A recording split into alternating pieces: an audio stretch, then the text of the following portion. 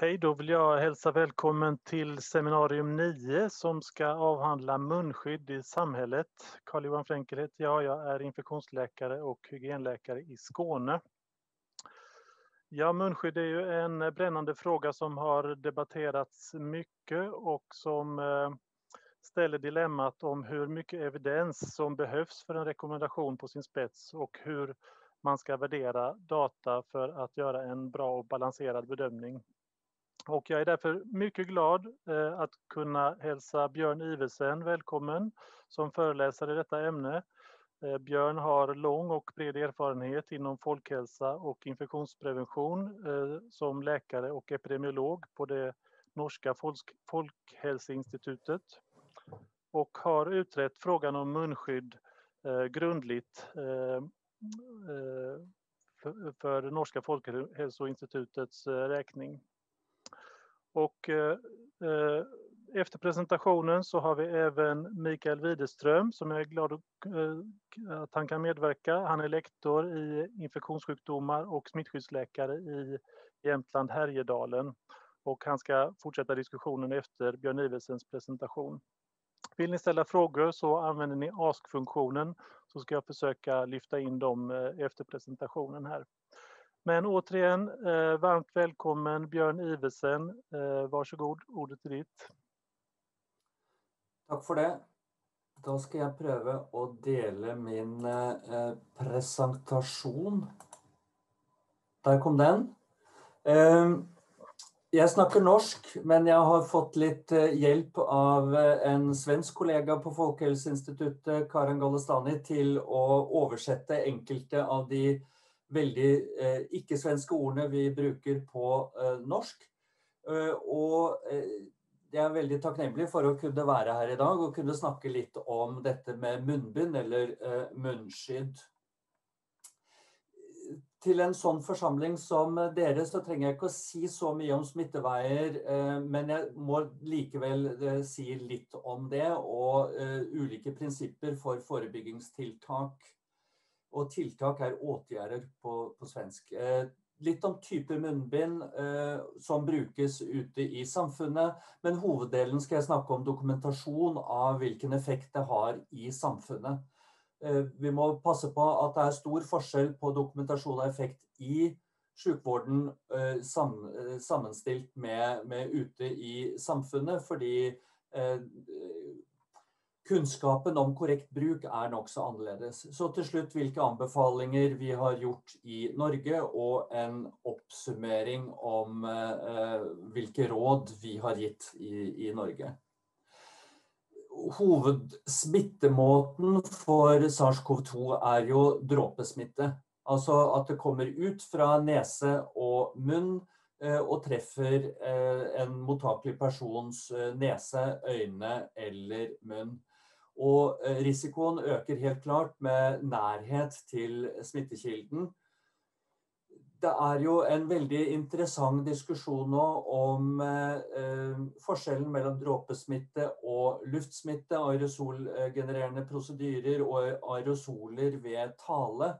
Men eh, dråpesmitte er jo anerkjent som den mest dominerende eh, smitteveien for eh, SARS-CoV-2 av de forebyggingstiltakene som er viktigst, eh, og som vi bruker mye tid på i Norge, er den såkalte TISK-strategien. Testing, isolering, smittesporing og karantene. Og det er gjort en beregning at det per i dag er over 2000 personer i norske kommuner som jobber med smittesporing etter eh, tilfeller. Videre så har vi generelle regler. Hold deg hjemme hvis du er syk. Hygienetiltak som hostehygiene og håndhygiene. Og det eh, med sosial eh, distanse og holde minst én meters avstand og andre kontaktreduserende tiltak. Og så som et tillegg til dette kommer dette med eh, munnbind. Og som vi har sett i Norge, er jo at som alltid når det gjelder pandemier og utbrudd, så er det Visse deler av befolkningen, altså ikke majoritetsbefolkninger, eh, minoritetsgrupper, som er mest utsatt for både for å bli smittet, for å få alvorlig sykdom og for å dø av sin covid-19. Slik at vi har stadig mer fokus på opplæring mot målrettede grupper. Bare for å vise en oversikt over de ulike typer eh, munnskydd og andningsskydd. Eh, vi har eh, åndedrettsvern eller eh, andningsskydd som ikke skal omtales her fordi det ikke er aktuelt ute i samfunnet. Men det er hovedsakelig medisinske munnbind og tøymunnbind, tygmunnskydd. Vi har listet opp at de kan følge ulike standarder, og de har ulik filtreringsevne. Men eh, det som er de norske anbefalingene per i dag, er at eh, medisinske munnbind ute i samfunnet brukes hovedsakelig til kildekontroll, men kan også brukes til beskyttelse av risikoutsatte eller eh, til en eh, beskyttelse for den enkelte mens tøymunnbind bare brukes utenfor helsetjenesten. Og det er jo nå en uoffisiell europeisk standard som gir, angir en filtreringsgrad, en, ris, filtreringsgrad med en, en, eh, reduksjon av partikler på minst 70 eller 90% Hvilken dokumentasjon er det så vi ønsker? Eh, vi ønsker å se samfunnseffekten av munnbind. Ikke eh, hvordan det virker i et laboratorium eller på et sykehus, men hvordan det virker eh, ute i samfunnet på befolkningsnivå. Eh, og Grunnen til at vi ser, ønsker denne forskjellen, er som vi ser av dette bildet. Her har vi en skuespiller som bruker sitt munnbind på korrekt måte. Eh, dette er under innspillingen av Mission Impossible 7, som hadde noen eh, fotograferinger i, på vestkysten av Norge. Og så ser vi den norske kulturministeren som ikke bruker sitt eh, munnskydd korrekt. Men hvis det finnes lite kunnskap om munnbindbruk på, for covid-19, så sekundært, hva, hva vet vi fra andre lignende luftveisinfeksjoner? Hvilken dokumentasjon finnes? Hva er det vi har gjort? Vi har, hatt, vi har en stor gruppe på Folkehelseinstituttet som driver med systematic reviews og uh, kunnskapsoppsummeringer. Uh, vi gjennomførte en sånn i juni i år, som ble publisert i juni. Og den ble oppdatert i november. Og den er tilgjengelig på våre uh, nettsider. Det er et systematisk søk av over 500 artikler, og vi identifiserte ca. 80 av disse som er eh, referert i denne, dette notatet. Men så er det en stor skritt fra eh, hva som er en kunnskapsoppsummering, til hvilke råd vi skal gi til eh, myndigheter og befolkningen.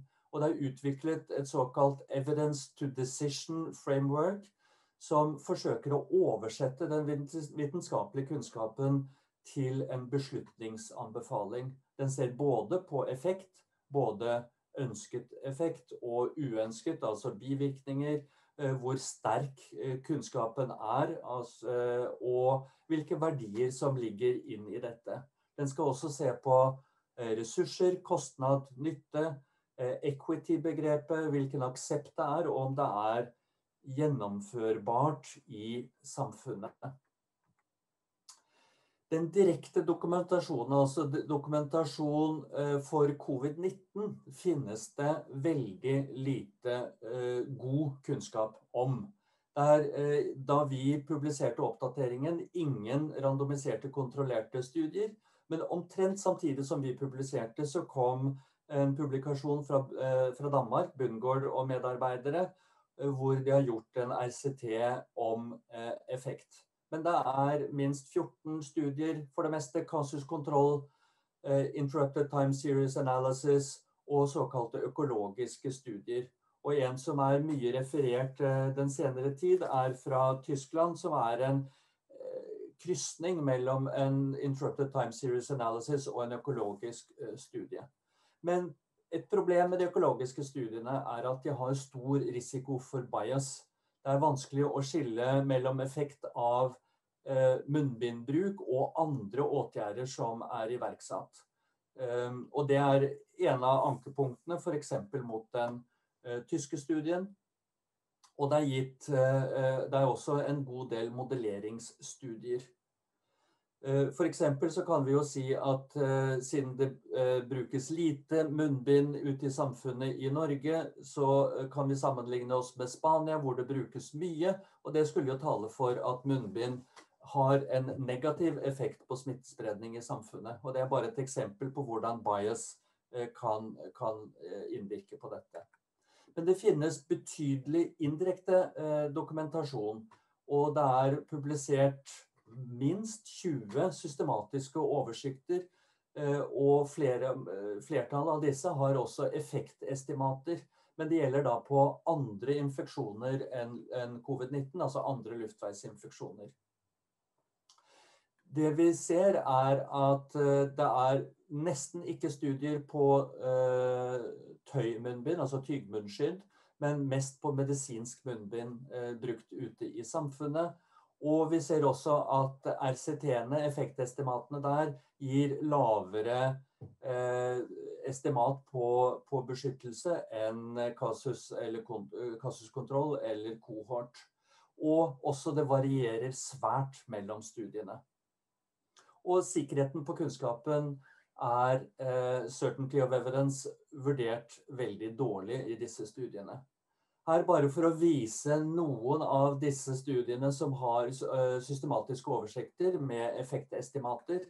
Og hvis vi ser på, bare ser på kolonnen til venstre, så ser vi at effektestimatene spriker veldig mellom de forskjellige studiene. Vi har valgt ut noen få, og en som nettopp er eh, publisert i Eurosurveillance, men som har vært eh, publisert eh, preprint tidligere fra Brainerd-medarbeidere. Interessant å se at effektestimatet deres for RCT-er er kun på 6% risikoreduksjon, mens fire kasuskontrollstudier viser Eh, et eh, effektestimat da på 61 eh, og så er det den mye omtalte Derek Shue og medarbeidere i Lancet som kom i sommer, som viser en 44% risikoreduksjon. Men en take home message fra dette er at det er stor usikkerhet fordi at disse studiene som er inkludert, og disse er i all hovedsak fra influensa eller sars fra ca. ti år tilbake i tid. Så har vi prøvd å gjøre noen grove, meget grove beregninger eh, tilsvarende 'numbers needed to treat', 'numbers needed to mask'. Hvor mange må bruke munnbind i en uke for å forebygge ett tilfelle. Og her er det også mange usikkerhetsmomenter vi vet ikke hvor stor andel av de som er smitteførende, altså smittsomme med sin eh, covid, er asymptomatiske, ikke har symptomer. Eh, det varierer i studier fra 20 til 40 Og hvis, hvilken risikoreduksjon har munnbindbruk? Skal vi bruke 6 som hos Brainard, eller den danske studien til Bundgaard på 18% eller 44% til Derek Shue? Eh, hovedpoenget med å gi et sånt 'numbers needed to mask' er at den viktigste faktoren for eh, effekt her er incidensen i samfunnet. I Sverige, eh, sist gang jeg sjekket, var ca. 700 tilfeller per 100 000 i løpet av to uker, mens det i Norge i samme tidsperiode var ca. 100 per 100 000. Og hvis vi da antar at det er 20% som er asymptomatiske, og har eff, effekt av maskebruk er som i Danmark på 18% så må 6000 svensker gå med munnbind i samfunnet for å eh, hindre ett tilfelle, men 44 000 i Norge. Eh, vi tok ikke med dette 'numbers needed to mask' i første revisjon, fordi det er et veldig grovt anslag, men vi jobber nå med våre statistikere og matematiske modellerere for å Eh, eh, gjøre et bedre estimat med modelleringsstudier på numbers needed to mask, men vi rakk ikke å få det ferdig til denne revisjonen. Den kommer kanskje på til neste. Effekt av munnbind økende, altså laboratoriedata, så er det jo det å se på dette med filtreringsevnen, som brukes særlig for ikke-medisinske munnbind, og hvor da det europeiske standardiseringsinstituttet har gitt noen rekommendasjoner for dette. Ehm, men filtreringsstudier gir jo ikke noen eksakt kunnskap om hvordan dette virker på, eh, til, eh, på, befolkningsnivå. Men vi må jo regne med at jo eh, bedre munnskydd filtrerer, jo mindre risiko er det. Men vi ser jo at eh, jo bedre filtreringsevne, jo vanskeligere blir det å eh, puste eller ande i disse munnbindene. Og da kan feilbruk øke. Så de uønskede effektene er jo hovedsakelig eh, ufarlige besvær ved å bruke munnbind. Med hudreaksjoner, pustebesvær, som jeg nevnte, og vansker med kommunikasjon. Eh, dette med uønsket atferd er også et poeng. Men foreløpige studier viser at eh, personer som bruker munnskyld, eh, ikke i større grad enn de som ikke gjør det, berører ansiktet sitt. Det er heller ikke dokumentert at de som bruker munnskyld, er mindre flinke til å holde tilstrekkelig avstand. Men feilbruk er et stort problem. Her demonstrert eh, ved vår helseminister, som eh, første gang han viste seg med munnbind, som vi helt klart ser bruker det feil. Eh, han lærte raskt, og i bildet under viser han hvordan det skal brukes. Og når vi ser på uønskede effekter, så ser vi også at det meste av dokumentasjon på problemer ser vi ved andningsskydd, altså åndedrettsvern, og ikke på medisinske munnbind. Eh, veldig kort at eh, i hvert fall den norske befolkningen i økende grad aksepterer å bruke munnbind ute i samfunnet, og det er raskt økende.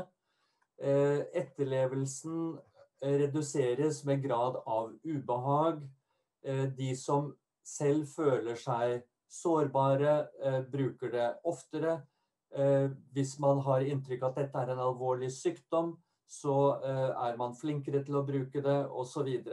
Men som den siste punktet her, hvis det er tvil om effekt, så er det færre som aksepterer å bruke munnskydd. Eh, gjennomførbarhet handler mye om tilgang, at man får tak i munnbind. Det er fører til mye frustrasjon dersom man anbefaler munnbind, men de ikke er tilgjengelige til befolkningen. Eh, så, eh, og vi så tidlig at, at det var i, under pandemien i de fleste land i verden så var produksjonen såpass dårlig, lagerbeholdningene var såpass lave at det ikke var nok munnbind til eh, befolkningen. Så oppsummert så finnes det svært bristende direkte dokumentasjon på effekt av tiltak eh, ute i samfunnet. Det er jo veldig interessant at eh, såkalt non-pharmaceutical interventions finnes det veldig lite forskning på, mens dette med medikamentbruk finnes det enormt med studier allerede på covid-19. Det finnes en god del studier fra andre luftveisinfeksjoner, men få gode studier forbrukt ute i samfunnet. Og de som er, er ofte av eh, sviktende eh, kvalitet. Eh, effekt eh, av munnbind er størst når det er stor smittespredning i samfunnet, og vi ser at det er økende eh, positiv holdning i samfunnet til å bruke munnbind. Så derfor har essensen i de norske rådene blitt at man skal vurdere å anbefale munnbind i samfunnet når det er mye smitte, og når man ikke kan opprettholde én meters avstand.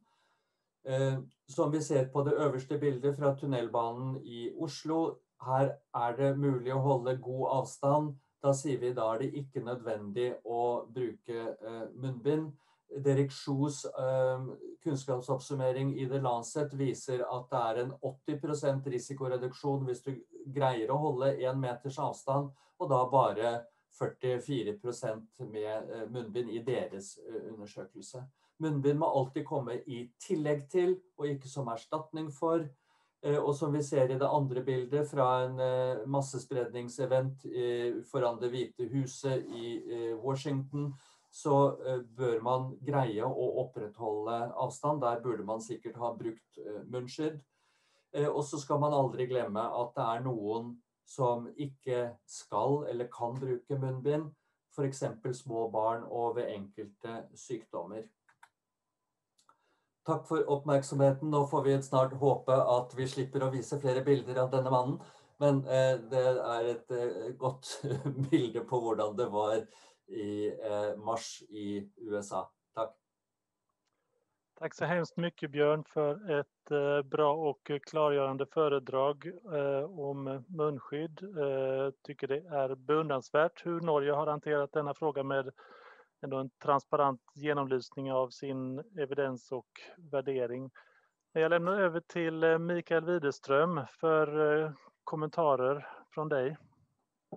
Tack så mycket eh, Mikael Widerström som sagt och tack så hemskt mycket Björn och en stor eloge för eh, den, den norska insatsen här för att få till en bra genomgång och en vetenskaplig belysning av det här svåra problemet med munskydd. Jag kan bara kort uh, du, sa, du nämnde här på slutet att det här är ett tillägg till andra åtgärder som finns i samhället och vi jobbar ju också, jag kan bara kort berätta, att vi jobbar ju väldigt mycket med det här precis som du säger med eh, TIST eller test, isolering, eh, provtagning, eh, väldigt snabb tillgång till provtagning och eh, smittspårning. Vi smittspårar eh, inte dygnet runt men sju, sju, dagar i veckan och smittspårar eh, vanligtvis inom 24 timmar då. Och sen har vi det här med hushållskarantän infört sedan 1 oktober och provtagning dag 5 för de kontakter som fortfarande är symptomfria för att eh, på så vis begränsa utflödet av eh,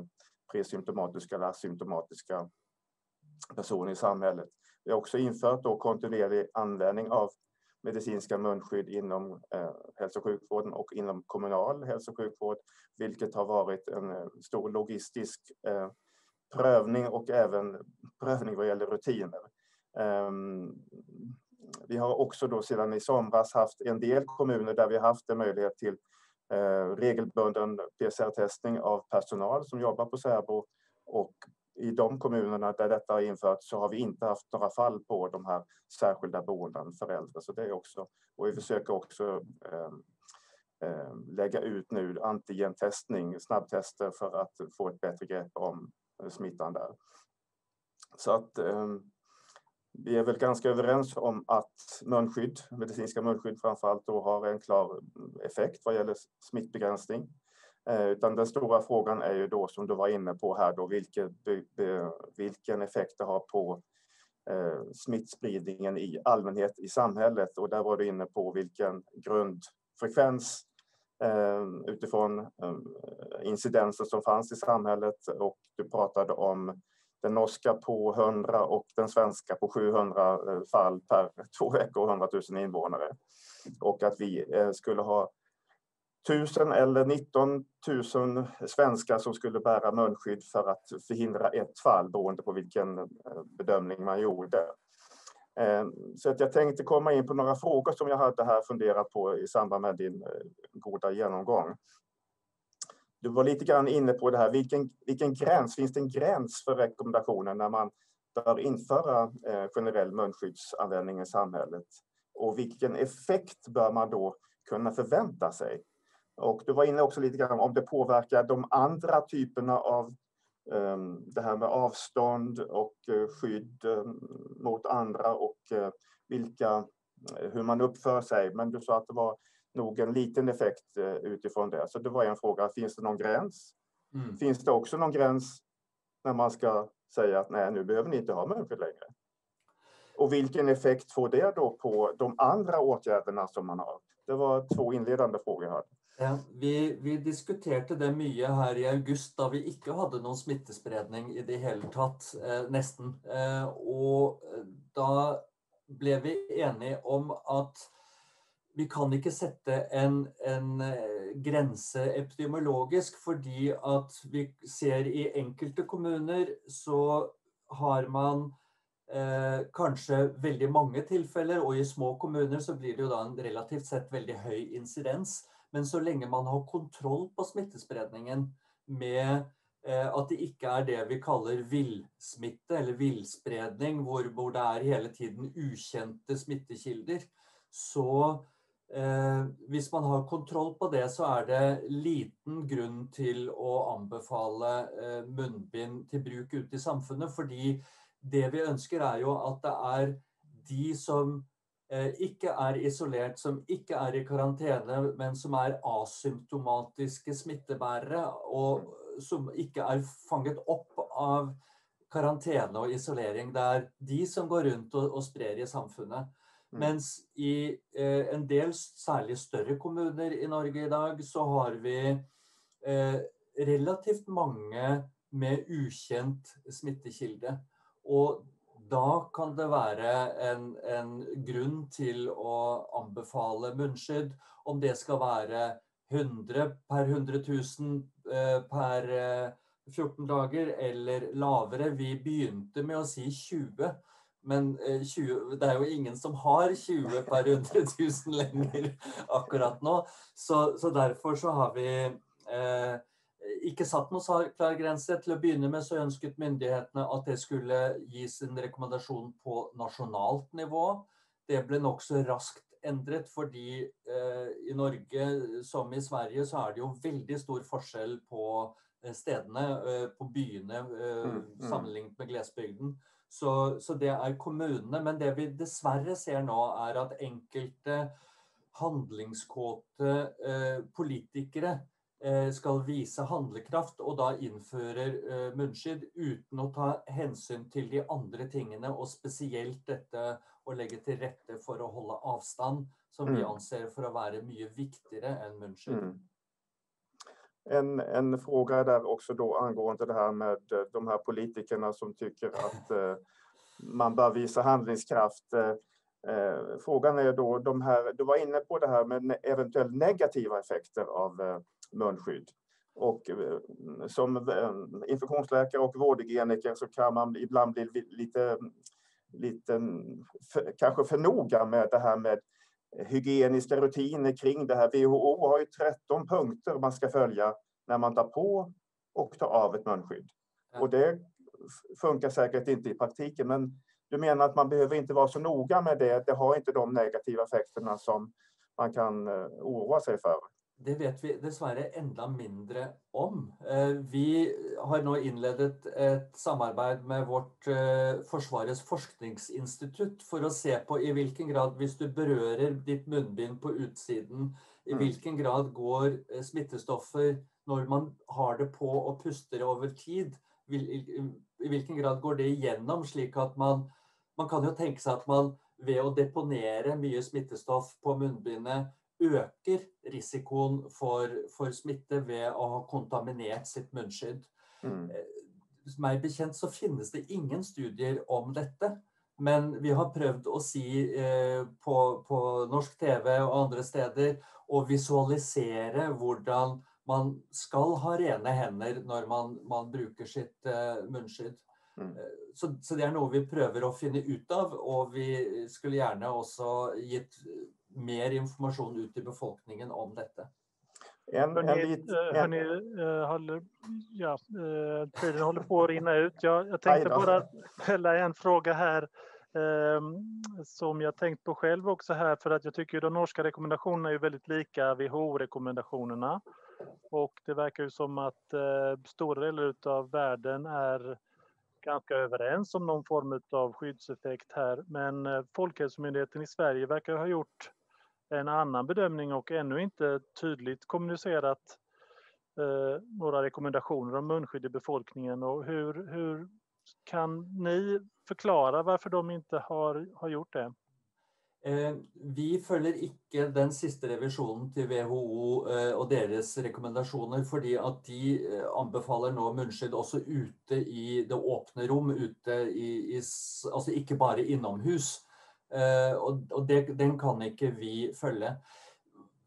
Det, hovedproblemet her er at det finnes dårlig evidens, og da sier vi at manglende evidens er ikke det samme som ingen beskyttelse. Eh, slik at vi, vi, har vært veldig på, på, linje med den svenske folkehelsemyndigheten, men har da endt opp nå med økende smittespredning, at dette må komme som et tillegg til, eh, men ikke som en erstatning fra. Og det prøver vi å gjenta hver eneste gang. Men vi har god kommunikasjon med våre svenske kolleger om, om dette, og, at, eh, og de andre nordiske også. Hörrni, Jag kan vår... Eh, lägga till lite kort här då. Folkhälsomyndigheten skriver lite kryptiskt kan vara av värde eh, när man till exempel besöker optiker eller i kollektivtrafiken.